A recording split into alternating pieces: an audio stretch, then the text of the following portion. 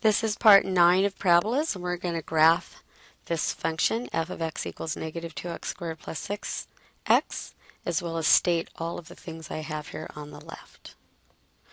All right, so let's go ahead and get started. So the axis of symmetry.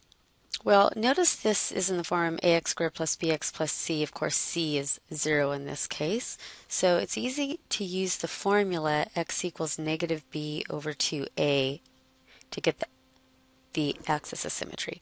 So I'm going to have negative, my b value is 6, over 2 times negative 2. All right, so that's going to end up being positive, right? Because I have a negative and I have another negative. So 6 fourths is going to be 3 halves.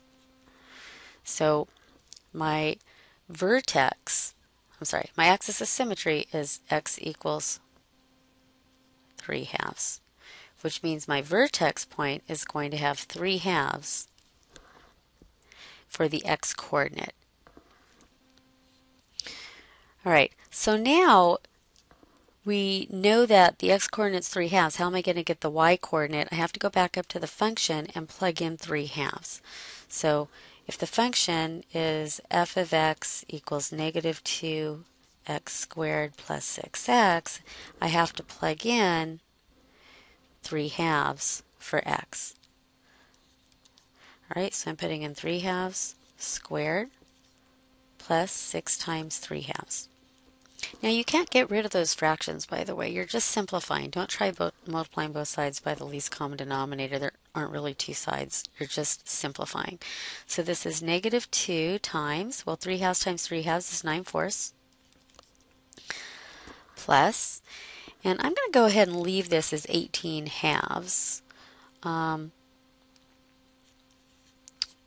because I'm going to get a common denominator in a minute. You you could have, you know, canceled and say that that was 9.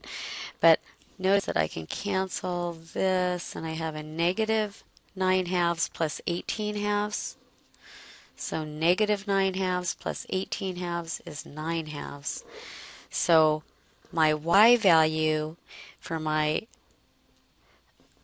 vertex point is 9 halves. So it's going to be 3 halves, 9 halves. Now, if you want, you could write that as 1 and a half, 4 and a half, right?